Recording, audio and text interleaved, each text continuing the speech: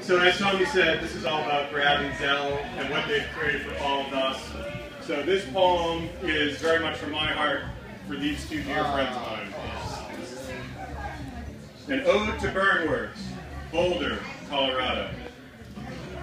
It burns, the art within, the passion of expression, beaten into form by molten flames of friendship. Bonded like metal in the furnace of love and respect. Cloaked in playfulness, faux fur, and cool hats. it works. It works. The flooded waters of creativity never recede.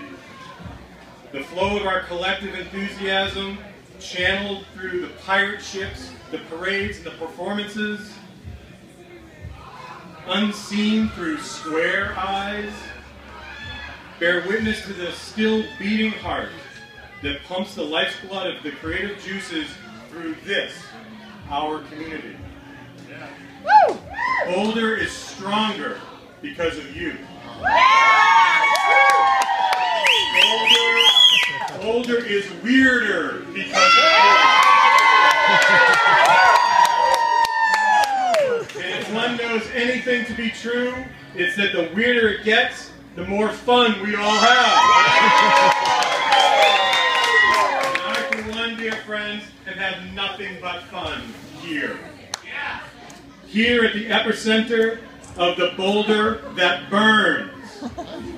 The boulder that was forged on the creative shoulders of inspired dreams of these few. These crazy few. We, these crazy few who refuse the clarion call to be normal, to be square. So join me, friends, all, in a rousing salute to the spirit of art and the true spirit of the fire. Viva la BurnWorks! Viva!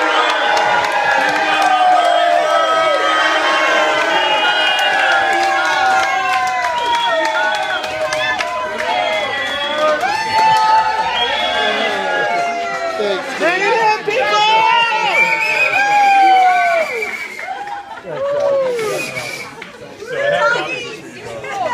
Yeah, Del, yeah, Brad! This is for you, brother. Thank you so much. Absolutely, man. You guys are awesome.